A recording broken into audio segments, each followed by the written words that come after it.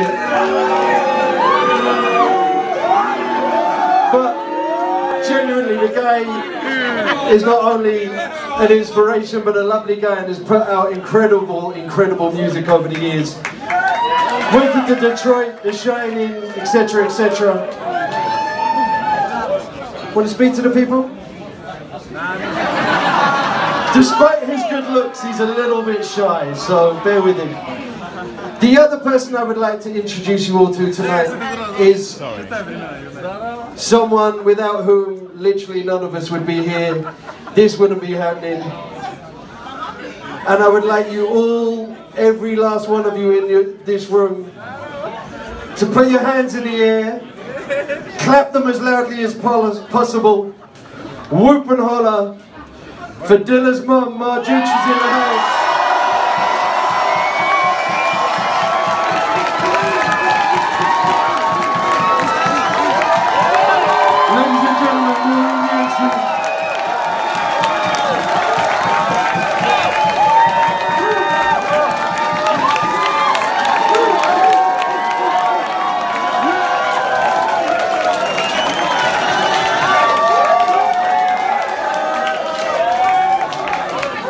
I've been blessed through doing these events the last few years to get to know Maureen very well.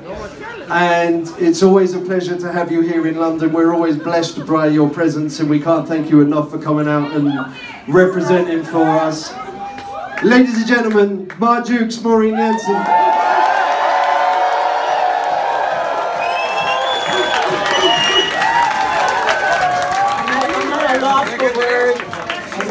Not often that I'm at a loss for words. This club holds such a treasure of memories and a vibe that I can never capture anywhere because you know how Dilla rocked that stage on his last tour. It means everything. I, I looked out and the way that you greeted him when he came in that door with that wheelchair, it's, it plays over my mind whenever I think about it. And Jazz Cafe will always be that special place. To see my son who was not able to do anything but create with his hands in that wheelchair, and that wheelchair was rocking, so to the end of the stage, I was behind him and scared, scared to death about what was going to happen, but it was meant for him to share that memory with us. That's where I first saw the shirt J Dilla changed my life, standing in that corner and uh, cried. We cried so hard after the event. It meant so much to him.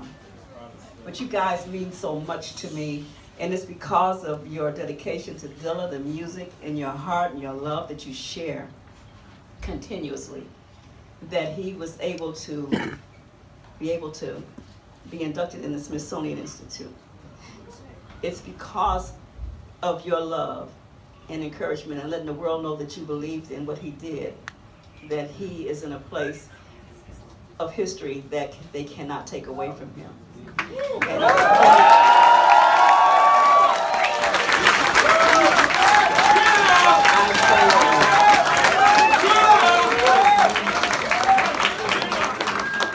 So thank you all. Continue to do what you do because you don't know where your next Dilla is. You don't know what age they are.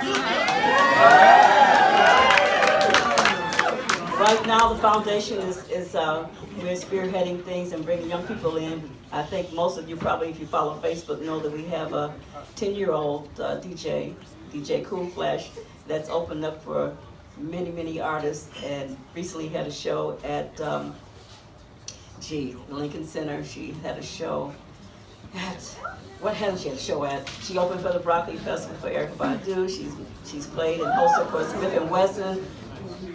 Many, many more. She is. I mean, it's no level, no ceiling over her head, and she's ten. And um, but she has. She's naturally gifted because her parents allow her to be that person that she was sent here to be. And we all have that gift, but we just have to nurture it. We can't walk away from it. You all have special gifts. I know you do. And I just thank you so much for the love that you give, you. that you share.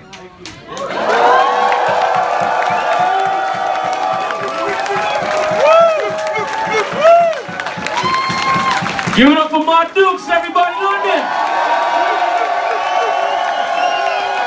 Listen, my man Pete BBE, he has a very part, a very important part in the whole J Dilla story as well. So you want to make sure Pete say a few words and just greet the crowd from London, from London Zone. Let's go, Pete. Come on, talk to them. I'll try and say a few things. I'm not a very good public speaker, so I'm going to look down at the floor.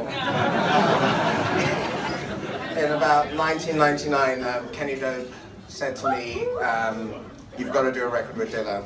Um, the Slum Village are actually doing a show at Subterranea in West London. Yeah. So I went over with a few BB records and I was like, I need to, you to do an album for me. I had no idea how I was going to do it, but I just went up to him and I said, I'd love you to do a record for me. And he said yes. Um, went back with his manager, Tim Maynor at the time, went to a hotel in Tottenham Court Road, spoke, signed an agreement the next day. Three months later, the, the record was done. And in that time I went to Detroit, met Maureen, um, we talked, and we, you know, the, Dilla played me some bits from the record and my mind was absolutely blown away. We drove around Detroit and I saw a sign and I thought, why don't we call the record Welcome to Detroit? And he said, yeah, let's do that. So,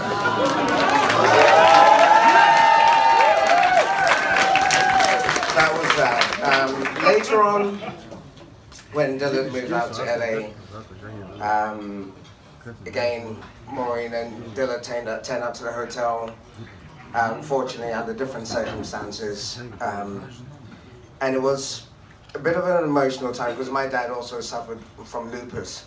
So we talked about Dilla's diet, what he needed to change about his life. And unfortunately, as many of you know, it didn't my dad's still alive, thankfully, and um, it's a very serious disease. And um, if anyone has any money to donate to the foundation, please do. It still wraps me up so deeply talking about this whole situation because I've never really been able, be, been able to overcome it. And um, I know how Maureen feels. And, um, you know, she said to me today, I was like Dilla's brother and he really cared about me because I was the only person that told him, just do what you want on the record, no pressure, just give me what you can, whether it was Brazilian, whether it was hip hop, whether it was live, whatever I. It.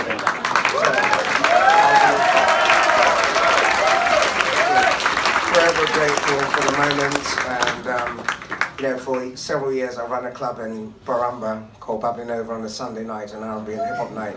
And um, Dilla would just call me up and just come and hang out. Like for a weekend fly on a Sunday, go buy records and then return back home. But we remained, we remained very good friends until the end.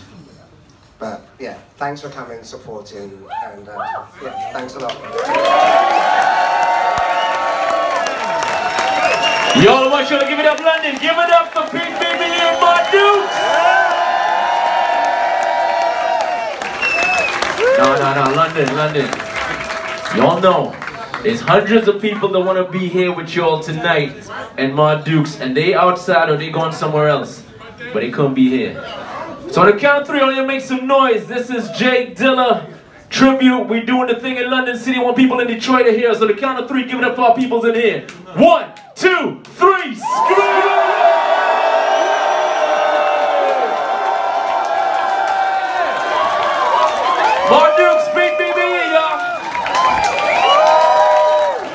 Right now, I want everybody to raise their J's in the sky.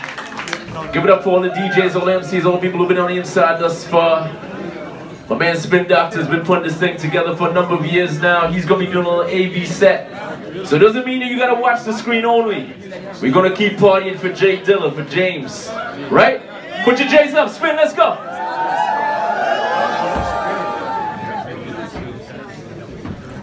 It's amazing, you know, how could we lose, you know, Biggie, Pac, you know, Dilla, Steve Jobs, Michael Jackson, it, you know, it'll almost make you feel like the devil's winning. You know, you, you gotta make music and you think like if Dilla was alive and we like this. Like I have to work on behalf of Dilla. You know, it's, it's, it's